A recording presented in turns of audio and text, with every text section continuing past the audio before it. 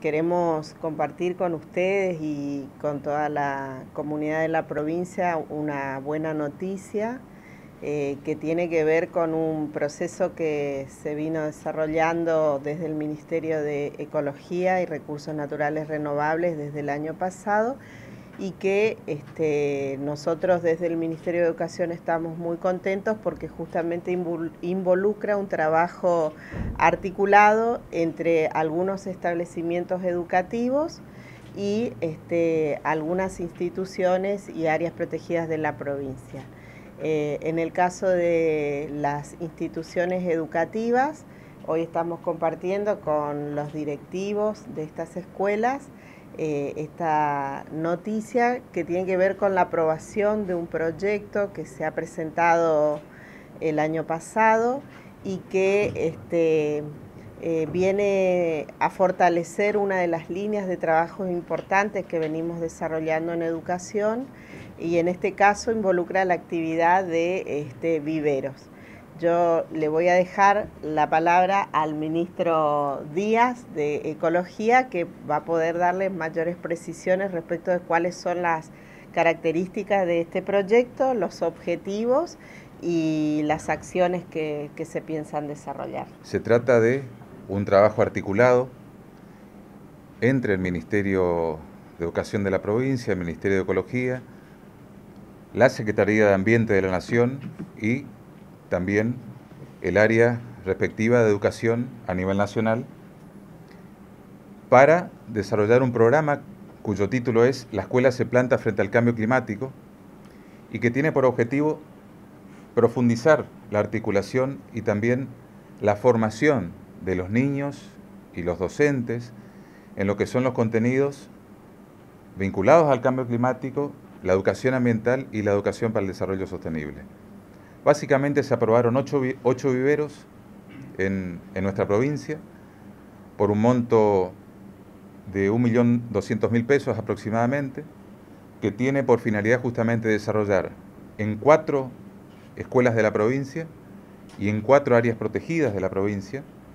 estas instalaciones y donde ya están existentes, mejorarlas, fortalecerlas,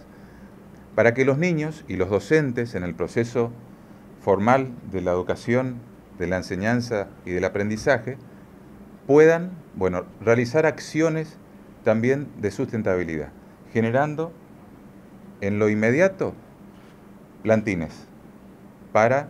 lo que es su contacto directo ¿no? como estrategia también de la educación con la tierra, con la naturaleza, con los componentes de, de nuestro ambiente natural. Y a mediano plazo poder colocar esos plantines como parte de un trabajo con las áreas protegidas provinciales para restauración y para la conservación de esos ambientes naturales. Está distribuido con un carácter muy equitativo a nivel, a nivel provincial, porque se contemplan eh, distintos lugares de la provincia, distintos municipios, que están aquí presentes los referentes tanto de lo que es el sistema de áreas naturales protegidas, como de las escuelas provinciales. Estamos hablando de los municipios de Profundidad, de Fachinal,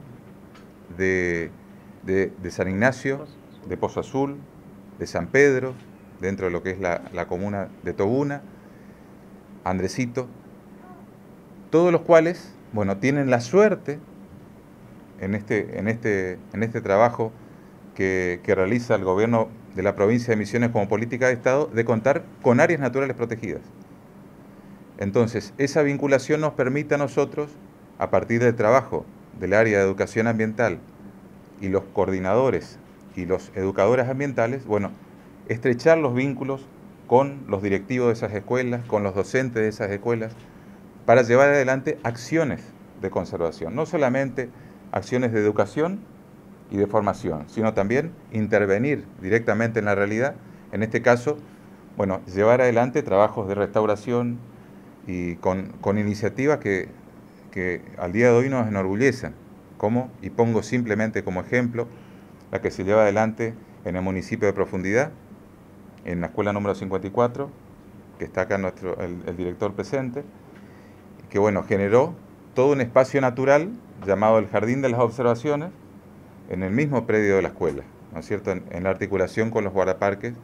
del Parque Provincial Profundidad. Entonces, ese es el objetivo y, el motivo de la convocatoria y el anuncio que queremos hacer con la ministra, que va a haber ocho viveros en, la provincia que van a estar financiados por este, este programa y que tienen por objetivo fundamental bueno, promover acciones de sustentabilidad y hacerle frente también a lo que es el cambio climático a, nivel, eh, a nivel local y a nivel internacional. Es, importante, y me, me, lo recuerda Ana, te agradezco Anita, nuestra coordinadora de educación ambiental, el rol que vamos a tener en lo que va a ser el asesoramiento y en el seguimiento de estos proyectos, porque es el, el principal compromiso que asumimos de poder acompañar todo el proceso de la, instauración de estos viveros y también hacer el monitoreo de las actividades que se hagan después a campo con bueno, los plantines que se vayan generando de acuerdo a cada una de las regiones